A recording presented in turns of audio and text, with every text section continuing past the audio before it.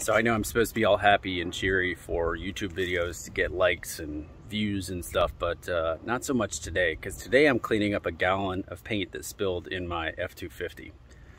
So let me show you what we're working with here. This was a brand new gallon of paint. It had never been open, and you can see here the seal has cracked. It was laying on its side. I had this stuff in the truck to return it the next day. And yeah, it spilled out. Um, I don't know if it was heat or what happened to the cam, but somehow that seal got broken even though I had never opened it. And I think most of this is dry. This is dry. Everything that I've read online about trying to clean this up is that you should definitely do it when it's wet and not let it dry. But I found this out at 5.30 in the morning when I was headed to the airport to catch a flight and I didn't have time to clean it up. So it sat in the car for a few days while I was out of town uh, some of it's still wet because you can see here I just opened the door and it's dripping somewhere. Oh, oh yeah. Yep, all on the door here. Underneath. On the paint. Probably gonna have to remove this plastic piece because I'm sure it's soaked up underneath there. Yeah, so I'm gonna try using a few products that I just happen to have on hand.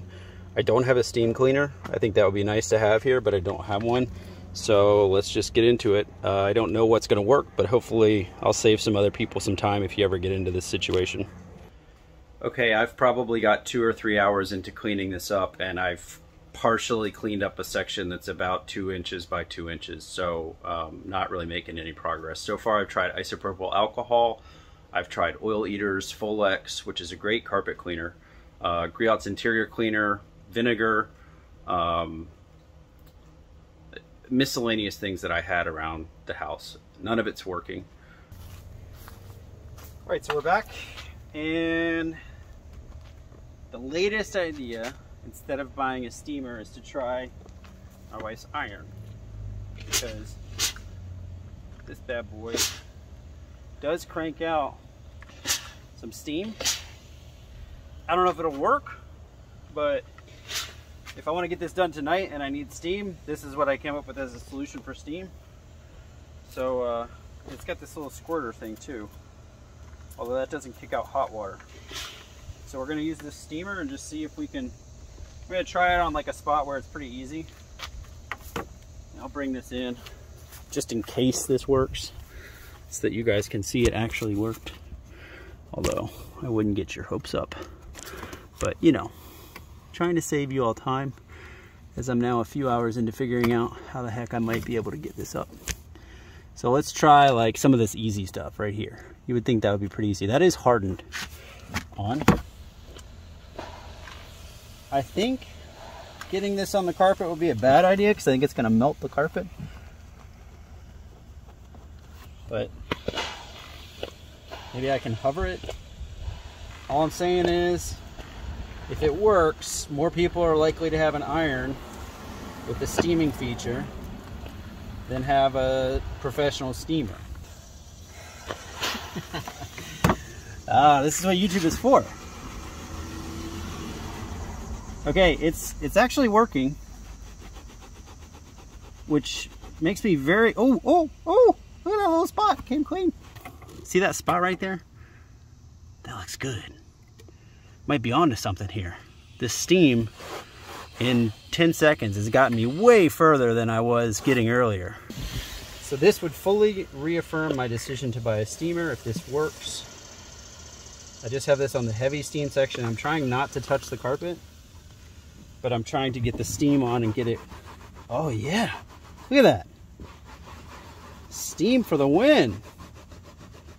Okay, this is still gonna be a good job, a big job, but we finally have found something that will work as a solution, I think. So let's let's get bold here. So this is where the floor mat was laying, and so it pooled up there, and it's really thick there. A lot of steam.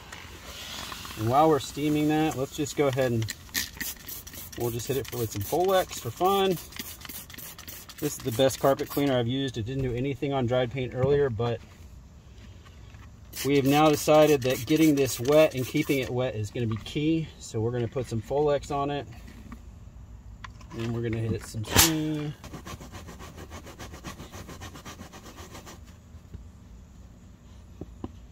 Softening, yes. Removing, questionable.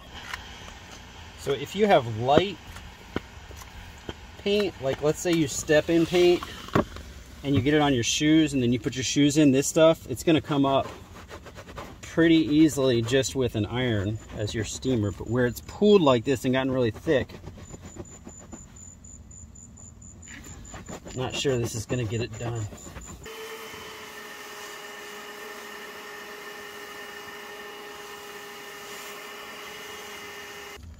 Okay, so you can definitely see that here it's getting better and here it's getting better. So this affirms the decision that steam is going to be the way to go. The iron obviously is not going to get it done in any sort of timely fashion. So I went out and bought this um, Karcher steamer here.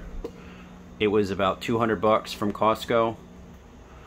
It puts out decent steam, but it's not, it's just not getting the job done. Um, I mean, if that's on like a low setting and it has a higher setting. And I mean, it, it puts out decent steam and it softens the paint some, but it's taking forever and it's not, it's just not working. So I don't know if it's not a high enough power unit or the steam isn't hot enough or what, but that's not working. So far, everything that I've tried on the internet's not working. So I went to Home Depot and I bought these products, which are specific for paint. So this one on the back of it says, Krud Kutter says, it's for latex paint. The Goo Gone latex paint cleanup, um, obviously that's for paint. And then the Goof Off product. I'm gonna do this live and see if any of these have done anything.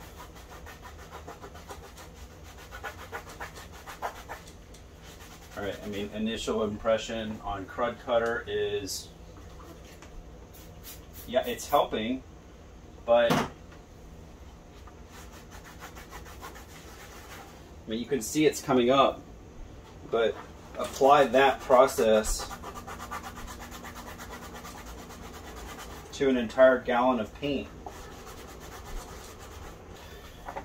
It is coming up, but it's a slow,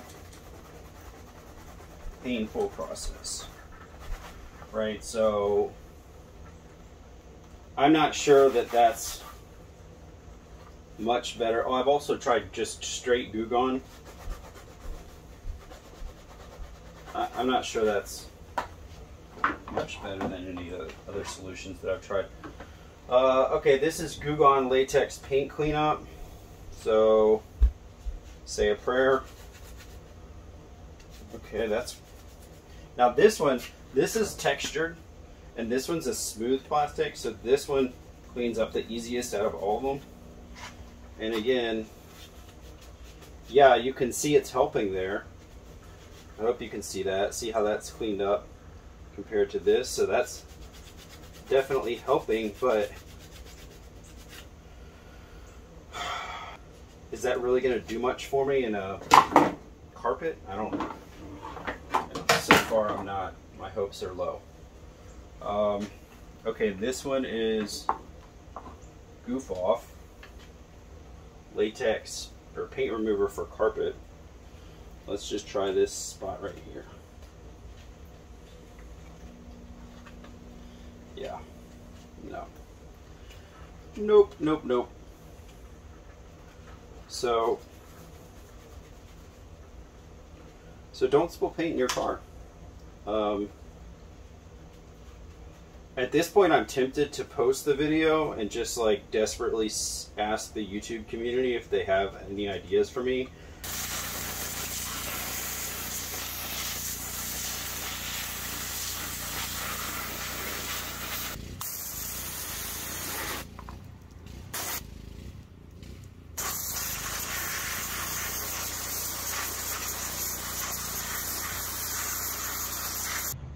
All right, so I've been working on this for probably four or five hours over the last few weeks, trying different products. And uh, I think I'm at the point where I'm ready to give some advice. So I've gone through a lot of frustrations and I'm going to walk you through the process that I've finally settled on that is getting me somewhere. As you can see down here, uh, this is starting to come up. Uh, there's still a lot of paint that I need to get up down in here in the carpet fibers, but we've made a whole lot of progress. You can see I've also made a whole lot of a mess splattering all over. And uh, I've been trying to hold a towel over my steamer, but um, I had to upgrade my steamer. So I originally was trying that Karcher SC3, which was a $200 unit. And I'm just gonna say, if you get into a job like this, a $200 and below unit is not gonna get the job done. So this is the Chief Steamer 75. It's actually an 85 PSI uh, steamer. It's got steam 300 plus degrees, working really, really well. This is what I would call a prosumer product. It's a, um, a, commercial grade product that consumers can still buy. So you'll see this used at detailing shops, and then you'll see people like me that get themselves into a ridiculous project, and they need something that will actually get the job done. The Karcher SC3 when you pulled the trigger, a bunch of water came out like a hose. I don't even know how you would use it on the interior of a car because it streamed out so much water and the steam pressure was supposed to be 45 psi, but it wasn't. Um, and the steam wasn't very hot and just wasn't a good product. So I went back to the store. don't waste your time on something cheap. Now, when you go up to the 85 psi and you actually start making progress getting paint out, you can see I'm making a big mess. And I've wrapped the tip of it in. Um, I've wrapped the tip of the steamer in a rag like this. You know, as I'm going along, I've got it wrapped in a rag, but it's just a whole heck of a lot of paint. Um, so you're gonna want a really good commercial steamer and you're gonna want this metal wire attachment. Don't bother with something nylon or boar's head or anything like that. You need something very stiff to get down and break this paint up through agitation. And as far as these three products, Goo Gone, Goof Off, don't don't waste your time. Neither of these did anything. Um, they're the same as Folex or any other household product. But this guy right here, Krud Kutter, plus the steam and a whole lot of patience actually gets something done. So if you just watch, um, if I spray some Goo Gone on, now you'd think this is good because it goes on kind of thick, but it just doesn't do anything. And then you can see if you spray the Krud Kutter on, see how it's actually coming, it's liquefying that paint right there. You can see it's going white and smearing on the Krud Kutter, whereas the um, Goo Gone does nothing. And this has been sitting, I mean, I've been through multiple iterations of letting products sit overnight, uh, agitation with this stuff, uh, nail brush, etc. So I am creating a mess. I'm hopeful that all of this is gonna wipe up fairly easy now that I've got a product that I know that works decently. Um, but this is the process I'm going through, which is kind of spraying one area down, okay?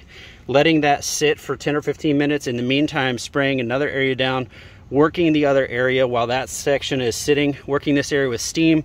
I've also got a little green machine here that I'm using to apply hot water to extract as I'm going and then just over and over and over and over again that process. It is working. Um, everything else that I had tried before as far as using rags and other carpet removers and even these Goo Gones, etc. And even this, absent a really good hot steamer, it's just, you're not going to be able to get it out. So um, I would say if you get yourself into this situation, your options are number one, run and keep the paint wet because the only way you're getting this paint out is to get it wet again so that it's running so that you can extract it. There's no way to get the paint out while it's still a solid because it's all intertwined with the fiber. So run and get saran wrap and cover up this spill until you figure out, okay, do I have an extractor on hand? Do I have the right materials on hand? Then go in and get after it while it's still wet. It'll save you all of the trouble that I'm going through to liquefy the paint again so I can get it to the point where I can extract it.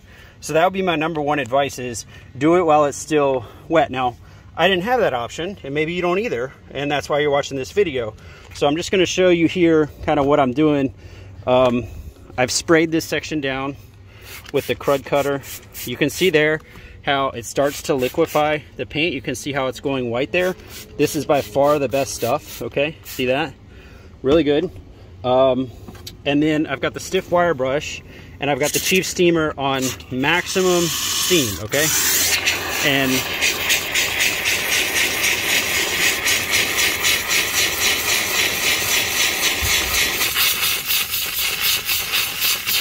And you need this stiff wire brush, especially for the sections like that where it's thick and it's caked on, because you got to break up that top layer and get down into the fibers before you're going to get any progress. Okay, so something like that. Then I'm going to turn on the extractor.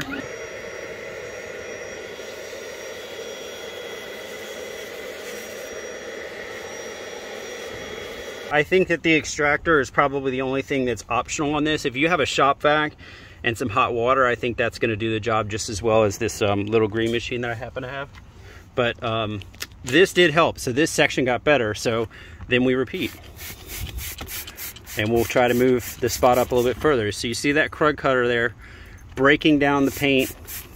Even as I spray, then I would normally let that sit for a few minutes, work another section, and then come back. But for the purposes of the video, I'll just go ahead and jump in and I'll re-steam this section.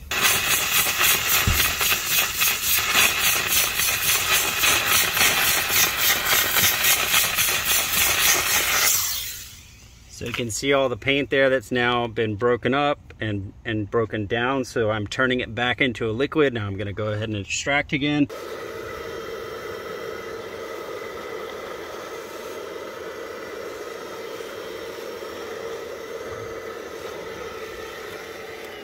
So you can see here, um, definitely made some progress, but still a lot of paint down in those fibers to get this spot clean, I will go through that process that I just did probably 10 to 15 times. Um, and I've got to do that all over the entire car. So all over back here. Then I'm going to have to come back and wipe all this down. You can see paint now has gotten all out on the running boards. It's, yeah, I mean, it's, uh, it's, it's definitely a two steps forward, one step back process. But at least I've got a system now to where I'm making some progress. Haven't even started to tackle this. Back here you can see, I mean, I tried, this looks almost the same as when I started. This is where I tried a bunch of different chemicals and just using rags and none of that worked. So I'll get back there in the steamer. I, you know, I would say replacing the carpet, if it's a if it's a car that you really care about, something collectible or something nice, and it's solidified, you may want to just go in and get a quote on replacing the carpet. For me, I, I always view these types of things as an opportunity to buy a new product, so that's why I bought this Chief Steamer, which I'm really, really happy about. Kevin, I think is the guy's name that runs this company, and he was awesome. I emailed him, I said, hey, I bought this other steamer, spilled a gallon of paint, it's hardened, the other steamer didn't touch it, what do you think? And he, he wrote me back and he said, if the other steamer didn't work, I don't think mine will either. And so I bought one because I love the honesty. Um, and actually, it's working really, really well relatively. Um, for a job like this, it's working a lot better than I thought it would. And I'm happy with the progress I've made because you can see right there. I mean, that this right here was pulled up probably an eighth of an inch thick paint over the surface. And now I'm starting to get it out. So I'm going to keep going and I'll update you at the end with final thoughts and the finished product. Okay, finished product. So in the back, I was able to get this, I think, pretty close to perfect. Um, back here, the paint had just come back and piled up, and it was very much on the top of the carpet. It hadn't sat on the carpet embedded down in. So you can see I, that all came up. I was able to get all these panels cleaned up. And I got these larger mats that come out, this larger rubber mat that comes and covers the whole thing. Now in the front, you can see here, I still have some paint. Um, but it's much, much, much better. And the reason I decided to stop is there you can see I have been working this so much that the carpet piles were actually starting to wear off. And then you see how this is kind of stained light? I don't think that's paint. I think that's where the dye is actually starting to come up out of the carpet from all of the materials and the steaming. So, you know, overall, I got this really, really good and I'm happy with it. Uh, it's a huge step in the right direction. I think I got it good enough that somebody jumping in the car would not notice, especially with these larger mats, obviously, that cover that up. But here on the side, you can see the piles are coming out, and I just decided to stop. Um, so this is just, I'm gonna have to live with this. Wasn't able to get that stuff on the side up. And that shows you just how deep the paint was. I mean, that's an inch. Uh, the gallon of paint was sitting all the way up there. Soaked down into the fibers, got embedded on the mat itself, and it's just not gonna come up. If you're a professional detailer quoting this job, I would say at least two days. I would also have your client sign off that you under that they understand that uh, there may be some damage to the carpet that you're not going to be able to get it all out because as you can see here I wasn't. Um, other tips I learned you know you saw there was a lot of spray from the pressure of the steam. Actually all that came up really easily. That wasn't a big deal once I got that down but using a towel to cover it when you can would be helpful. Um, overall you know I think if you were jumping into my truck you probably would not notice that if you did, you wouldn't think too much of it. And that was ultimately the goal was to get it, um, you know, cleaned up a lot. So lesson learned, no paint in your car. First lesson, second lesson, God forbid it happens, keep it wet because you're going to have to get it wet again. And as you can see, you're probably not going to be able to get it all up. Hope this helps somebody. And I sure hope that um, you're watching this video for pleasure as you're trying to go to sleep and not because you spilled paint in your car like I did.